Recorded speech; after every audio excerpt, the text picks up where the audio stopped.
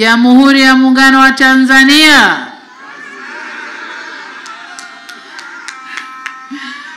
Mwadira wa baba na mamayo mlimola wabeja sana. Ndugu zangu, niungane na walionitangulia kumshukuru Mungu kwa kukutanisha hapa Bujora wilayani Magu kwa ajili ya hafla ya ufunguzi wa tamasha hili adhimu la Wasukuma maarufu kama Bulabo linalofanyika kila mwaka na linaloashiria mwanzo wa mavuno.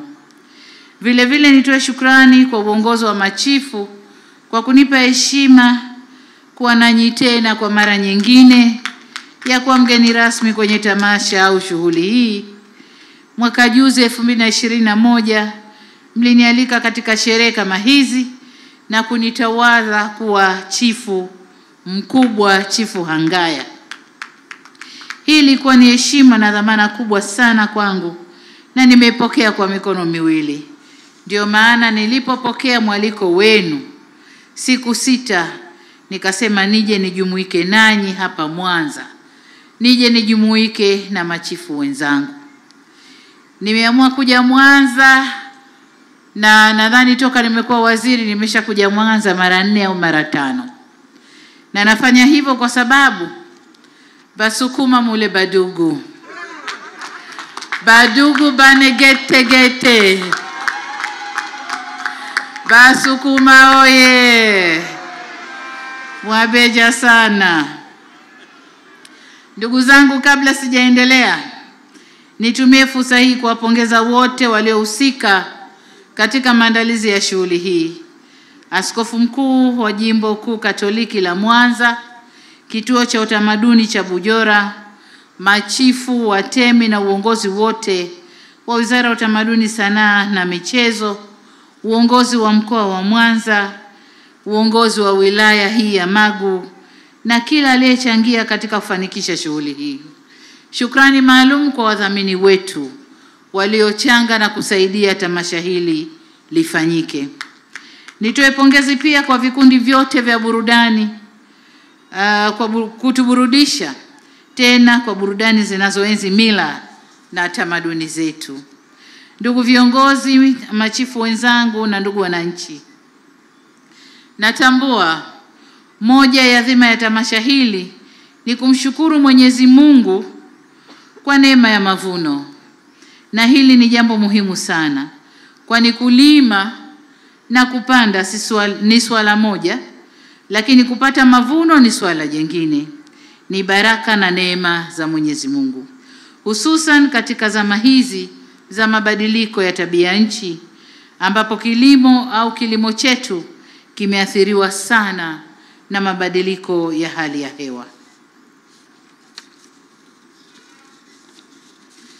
Ndugu zangu, uwepo wa mavuno ni matokeo na jitihada za wakulima. Ni ishara kwamba mnachapa kazi vizuri na mavuno ndipo yanapoitika kuja vyema.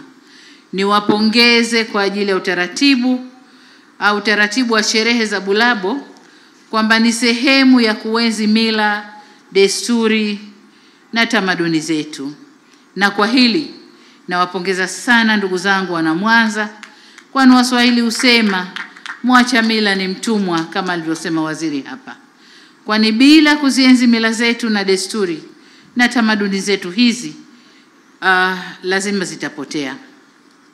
Nitoe rai kwa wengine kuweka jitihada za maksudi na kuenzi mila zao, na hapa nipongeze jitihada zinazofanywa na Kituo cha Utamaduni cha Makumbusho ya Wasukuma Bujora na ninawapongeza sana. Lakini mbali na pongezi hizi kwa Mwanza, nipongeze pia machifu wenzangu katika mikoa yao, jitihada kama hizi zinaendelea. Na katika mazungumzo yetu asubuhi, niliwaahidi serikali iko pamoja nao katika juhudi za kutunza mila na desturi zetu. Waheshimiwa ndugu zangu wananchi, Sherehe zetu hizi ni kwa ajili ya kumshukuru Mungu kwa mavuno tuliyoyapata. Sasa tunapozungumza mavuno, nataka nizungumze yafuatayo, kwamba ulimwengu mzima sasa unatarajia kuwa na tatizo la upungufu wa chakula, na kama kutakuwa na upungufu wa chakula, ina maana kutakuwa na mfumuko wa bei. Sasa kwa nini mfumuko au upungufu wa chakula? Ni kwa sababu ya maathari za uviko kumi na tisa, lakini vita vinavyopiganwa huko Ulaya, kubwa zaidi mabadiliko ya tabia nchi.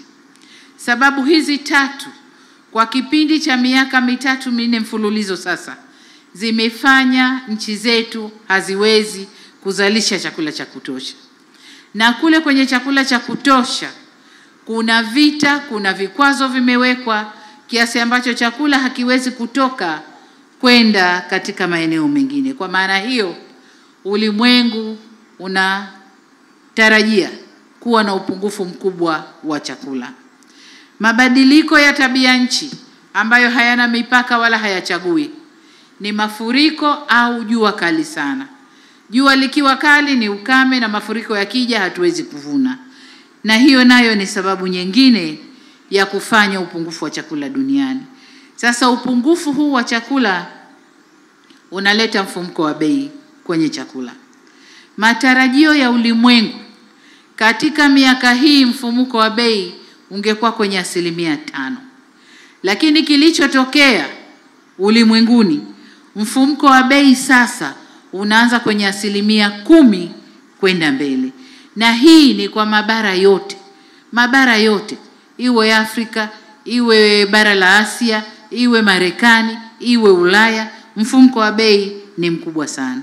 Sa kuendana na mfumko huo wa bei, nchi mbalimbali zinachukua hatua mbalimbali kurekebisha ili wananchi wasiumie katika mfumko wa bei. Nasi Tanzania tulifanya hivyo hivyo. Kwa mfano, tulipopata mfumko wa bei kwenye mafuta, tuliweka ruzuku, mafuta yakawa bei ya kawaida, mfumko wa bei haukutudhuru sana. tupokuja kupata mfumko wa bei na uhaba wa mbolea, tuliweka ruzuku, mambo yakawa sawa, na hadi sasa nchi yetu tumeendelea sana sana kuzuia mfumko wa bei kwenye chakula. Unapanda kidogo bei za chakula, tunaweka sawa mahesabu na bei zinarudi. Tumshukuru Mungu kwamba Tanzania sasa tumeanza mavuno, na ndio tunasherekea kumshukuru Mungu. Tumeanza mavuno, na kwa maana hiyo bei za chakula sasa zimeshuka na ziko kwenye bei zinazohimilika.